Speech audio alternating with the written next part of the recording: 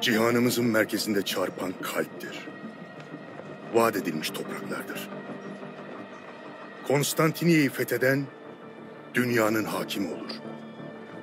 Ama şu surlara bak oğlum. Şehri almaya çalışan bütün orduları durdurdular. Beni de öyle. Peki neden surları yıkmıyoruz? Henüz onları yıkacak güçte toplar imal edilmedi. Kimileri bunu Allah'ın bile yapıp yapamayacağını merak ediyor. Baba. Bir gün ben o surları yıkacağım. Ve sultan olduğumda Konstantinye'yi alacağım. Fatih Sultan Məhməd Konstantinopolu fəth eləməyi ağlına qoymuşdu. Nə olur olsun bu alınmaz şəhəri alacaqdı. Çünki ta uşaqlığından bəri bu xəyalla yanıb alışırdı. Hətta özündən əvvəl 23 ordunun şəhəri almağa çalışıb ala bilmədiyini bildiyi halda xəyallarından əl çəkməmiş, şəhəri alana dək var gücü ilə dirənmişdi və nəhayət almağı bacarmışdı da. 24 ordudan biri ola bilmişdi. Elə buna görə də o Fatih oldu. Adı qəhrəmanlar siyasına düşdü. Tarix o məğlub olan 23 ordudan yox, məhz qalib olan Fatihdən danışdı.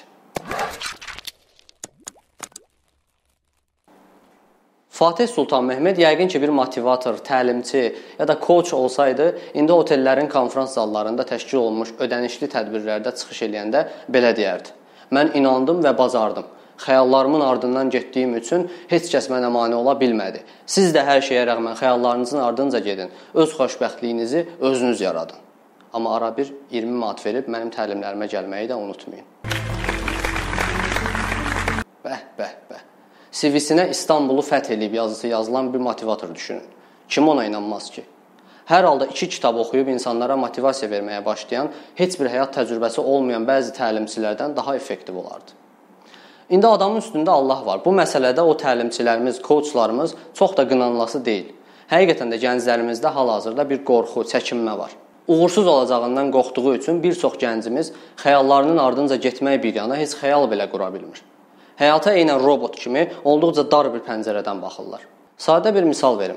Biz Progress klub olaraq vaxtaşırı inşa yarışları keçiririk. Məqsədimiz azyaşlı uşaqları sağlam rəqabətə, keyfiyyətli işlərə, yaradıcı düşünməyə təşviq etmək olsa da, həm də bu inşa yarışları səbəbilə azyaşlılarımızın xəyal dünyasına səyahət etmək şansı əldə edirik. Sözün açığı, adətən bizi sevindirən məqamlardan daha çox təəssüfləndirən məqamlara şahid oluruq. Hər dəfə görürük ki, aşağı yaş qruplu yarışmaçılarımızın əksəriyyəti xəyal qurmaqda ciddi çətinlik çəkir. Adi bir misal verim. Yarış iştirakçılarının böyük əksəriyyəti böyüyəndə həkim olmaq istəyir. Yani hiç ummadık ailenin, ummadık çocuğu, ummadık mesleğe yönelir bazen. Özellikle daha ufakken. Mesela itfaiyeci olacağım. Uşaqlar arasında gələcək peşə seçimlərinə dair fərqli fikirlərə rast gəlmək olduqca çətin olur. Bu göstərir ki, azyaşlı iştirakçılarımızın xəyalları olduqca şablon və qıtdır. Nisbətən yuxarı yaş iştirakçılarımızın yazılarında isə tez-tez şablonlaşmış və qeyri-səmimi cümlələrə rast gəlirik. Sevimli müəlliməmiz bizə şifahi xalq ədəbiyyatının ruhunu aşılayır. Dövlətimiz bizim və neçə-neçə körpə fidanların təhsil alması üçün əlindən gələni eləyir. Bütün bunlar göstərir ki, həqiqətən də gənclərimizdə xəyal qurmaq problemi var. Onların beyinlərində orijinal fikirlər yox, şablonlar hökm sürür. Bu baxıma bu cəmiyyətdə xəyallarının ardından getməyi tövsiyə etmək hardasa başa düşüləndir. Amma mən düşünürəm ki, insana qalib olmaqdan daha çox məğlub olmağı öyrətmək lazımdır. Çünki bu bir reallıqdır ki, Konstantinopolu almağa çalışan, amma ala bilməyən o 23 ordu kimi hər 24 uşaqdan ancaq biri böyüyəndə Fatih ola biləcək, digər 23-ü məğlub olacaq və biz cəmiyyətdə xoşbəxt olmaq üçün Fatih olmalısan mesajını versək, deməli cəmiyyətin 24-dən bir hissəsini xoşbəxt eləyəcək, qalan 24-dən 23 hissəsini uğursuz, lazımsız, zəif insanlar kimi damğalayacağıq. Ona görə gələn dəfə kiməsə xəyallarının ardınca get deyəndə bilməliyik ki, həmin adam bizim tövsiyəmizə qulaq assa 24-dən 23 ehtimalla uğursuz olacaq. Elə bax mən də bundan qorxduğum üçün istəyirəm sizə xəyallarınızın ardınca getməmişdən öncə diqqət etməli olduğunuz bir neçə məqamı xatırladım. Əvvəlcə bilməliyik ki, çox istəsən, çox çalışsan hər şeyə nail ola bilərsən fikri kökündən yanlışdır. Bizi xəyallara satdıran yeganə şey çox istəyib, çox çalışmaq deyil təəssüf ki. Şans, şərait, şərtlər, zamanlama və s. kimi olduqca çoxlu dəyişən bizim həyatımızdakı uğurlara və uğursuzluqlara təsir eləyir. İkincisi unutmamalıyıq ki, xəyallara çatmaq heç də sadəcə xəyal eləməklə olmur. Bu aylarla, illərlə çalışmağı, gecələr yuxusuz qalmağı, bu yolda tənqid, demotivasiya edici fikirlər, hətta bəzən təhqirlər eşitməyi tələb edir. Dəmir kimi iradə və səbr istəyir.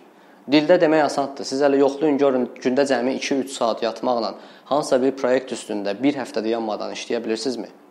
Yəni o işlər o qədər də asan olmur. Siz sosial şəbəkələrdə bir anda xəyallarının ardınca getməyə qərar verən insanları görə bilərsiniz. Amma o qərar verilməmişdən öncə haqqında bəlkə də aylarla, illərlə düşünülüb. Üzərində ağır yüngül edilib, bu yolda nə qədər qurbanlar verilib və nəticədə nəyəsə nail olunub. O da olunubsa əgər. Üçüncüsü, xəyalların ardınca gedə bilmək biraz da xəyalların özündən asılıdır. Xəyalın budaqları nə qədər göylərə uzansa da gərək kökləri yerdə olsun. Mən multimilyoner olacağam deyəndə ətrafınızdakı insanları, əlaqələrinizi, təhsil və dünya görüşünüzü, yaşadığınız ölkənin şərtlərini, qanunlarını və s. nəzərə almırsınızsa, belə xəyalın ardınca getməkdənsə elə bəri başdan əl üzüb daha real işlərə beyin yormaq daha düzgündür. Dördüncüsü xəyalınızın dartma gücünü düzgün görə bilməlisiniz. Xəyallar insanlara irəli getməyə kömək eləyəcək yanacaq rolunu oynaya bilər bəzən. Xəyalınızın gücü o qədər də çox deyilsə, onu o qədər də dəlicəsinə istəmirsinizsə, şərtlər dəyişsə, ona olan marağınız azalacaqsa, bu tip xəyalların ardınca düşməyə dəyməz. Gərək etibarlı bir yol yoldaşı ilə yola çıxasan. Belə etibarsız xəyallar isə sizi yarı yolda tək qoyacaq və bir yerdən sonra o yola ümumiyyətlə niyə çıxdığınızı belə unudacaqsınız. Misal üçün, mən mütləq biznesmen olacağam deyib yola düşürsüz. Üstündən biraz vaxt keçir, normal bir iş təklifi gəlir. Yaxşı maaşlı, təmiz, səliqəli bir iş. Şərtlər dəyişdiyi üçün görürsüz ki, sizin əslində istədiyiniz şey biznesmen olmaq yox, sadəcə normal bir maaşa sahib olub rahat həyat sürməkmiş. Bir sürü mənfəətçi insanla görüşmək, biznes qaleriyalarına getmək, anormal məkanlarda anormal insanlarla qiymət aşağı-yuxarı eləmək, stress çəkmək, gömrükdə qalan malı çıxarmaq üçün günlərlə ora-bura zəng eləmək və s. əslində sizə heç də cazibədar gəlmirmiş. Siz sadəcə aylıq 2000 manatınızı alıb, əliniz ətəyiniz təmiz, 9-6 işləmək istəyirmişsiniz. Hə, bax demək ki, bu biznesmen olmalıyam xəyalı heç də ardınca düşülüb gediləcək bir xəyal deyilmiş. Bilirsiniz, bəzən xəyal qurmağınızın səbəbi o xəyalı istəməyiniz yox, hazırda yaşadığınız həyatdan narazı olmağınız olur. Bunu sizdən başqa heç kəs dəqiq bilə bilməz. Bunu özünüz dəqiq analiz etməlisiniz. Əgər sizin də xəyal qurmaq səbəbiniz hazırda yaşadığınız həyatdan narazı olmağınızdırsa, onda o saxta xəyala fokuslanmaq yox, hazırki həyatınızı düzəltməyə çalışmaq lazım olacaq. Bunu da unutmayaq. İnsanlar rahata qaçmağa meylli olurlar. Xəyalların ardınca getmək də bəzən bizə ona görə cazibədar görünür. Hazırki işdə tonlarla problem var və onları bir-bir yoluna qoymaq olduqca çətin görünür. O halda adətən ağla gələn ilk şey baş götürüb qaçmaq olur. Buna da xəyalların ardınca getmək adını veririk bəzən. Amma tez-tez unuduruq ki, xəyalını qurduğumuz şeyə nail olsaq, onda da başqa bir sürü problem çıxacaq və bu səfər də biz daha başqa xəyallar qurmağa başlayacağıq. Bu kimi hallarda kişi olub öz şəraitimizlə barışmaq, problemlərimizi qucaqlamaq və onları həll etməyə çalışmaq lazımdır. Razıyam, bu olduqca çətindir. Amma kişi olmaq da asan şey deyil axı. Sonuncusu, xəyallarınızın həqiqətən də öz xəyallarınız olduğundan əmin olmalısınız. Bəzən bizə filmlər və ya hansısa insanlar elə təsir eləyirlər ki, özümüz belə hiss eləmədən onların yolunun davamçısı olmaq istəyirik. Onların xəyallarını sahiblənirik. Mənim bir xəyalım var. I have a dream deyən Martin Luther King elə güclü bir natiq idi ki, ölkəsində qaradərinlilərə qarşı heç bir irqçi münasibəti olmayan insanlar belə onun yolunun yolçusu olmağı seçirdilər. Niyə? Çünki onun xəyalını özünküləşdirmişdilər. Öz ölkələrində daha önəmli və real problemlər diqqətdən kənarda qaldığı halda, öz ölkəsində olmayan, okeanın o tayında cərəyan edən bir problemə qarşı savaşmağı seçmişdilər. Xəyallarınızı çalışın ki, oradan-burdan idxal etməyəsiniz. Bu qardaşyana tövsiyələrimi əsla yanlış anlamayın. Sizi xəyalsız olmağa və yaxud da xəyallarınıza laqeyd qalmağa dəvət eləmirəm. Arthur Clarke gözəl deyib, insanoğlunun bütün edəcəklərini xəyalları sərhəddləyir. Xəyallarınız sizin qət eləyə biləcəyiniz maksimum məsafəni təyin eləyir. Onu geniş saxlayın. Amma real hesablar eləmədən də əsla addım atmayın. Bayaq dediyim kimi, xəyallarınızın budaqları çox yüksəklərə uzana bilər, amma çalışın kökləri yerdə olsun. Xəyallar aləmində neqativlər yoxdur. Hər şey aləlvandır.